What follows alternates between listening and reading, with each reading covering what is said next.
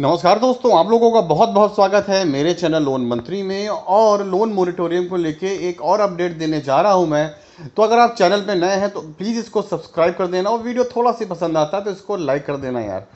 तो चलिए देखते हैं, आप देखते हैं, मैंने एन डी प्रॉफिट यानी एन डी टी वी का मैंने वेब पेज खोल के रखा है मेरी मोबाइल की स्क्रीन में। और यहाँ पर सुप्रीम कोर्ट क्या कह रही है, देखिए सेंटर यानी केंद्र पे गवर्नमेंट को क्या बोला है सुप्रीम कोर्ट ने? You lock down whole country now give relief यानी दोस्तों, काफ़ी बड़ी बात कही गई है कि भाई, आपने पूरे देश में लॉकडाउन लगा दिया था, वो आपका डिसीज़न था, लेकिन अब आपको रिलीफ देना आपका काम है।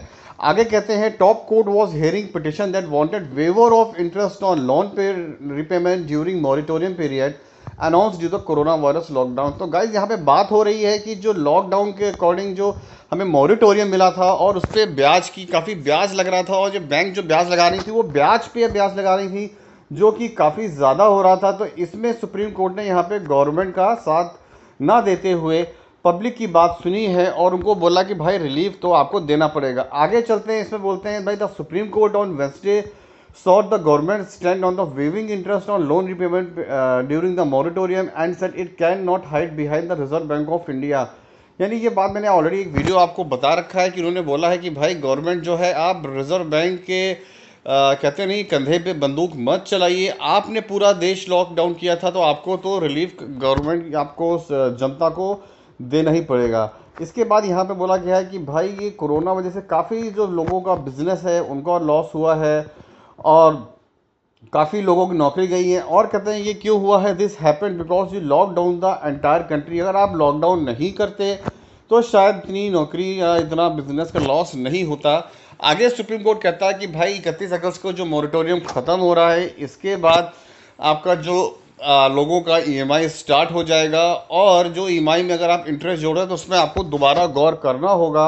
और लगातार यहाँ पे पिटिशन पे पिटिशन अभी तक चार पिटिशन जो है वो दाखिल हो चुकी हैं मोरिटोरियम बढ़ाने में और इंटरेस्ट वेवर के लिए जो आखिरी मोटे, जो पटिशन दाखिल हुई थी उस पर मैंने वीडियो बनाया है। दो दिन पहले आप जाके देख सकते हैं।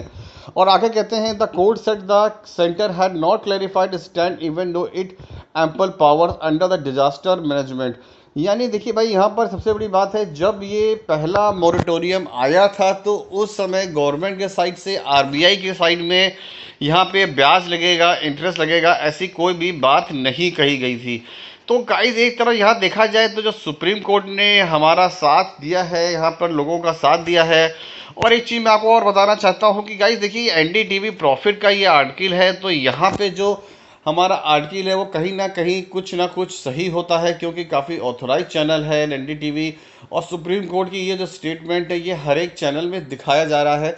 आप किसी भी आप चैनल में जाके देख सकते हैं। तो गाइस अभी देखते हैं आगे क्या होता है, पर उम्मीद करते हैं जो भी इसका डिसीज़न आएगा, वो हमारे पक्ष में आएगा। तो गाइस वीडियो थोड़ा सा भी पसंद आता है तो इसको लाइक कर देना, और यार लाल बटन दबा के चैनल को सब्सक्राइब कर दो। यार, आप लोग सब्सक्राइब करते हो तो आपको मोटिवेशन मिलता है। और आपके लिए और बढ़िया बढ़िया वीडियोस बनाने की कोशिश करते हैं।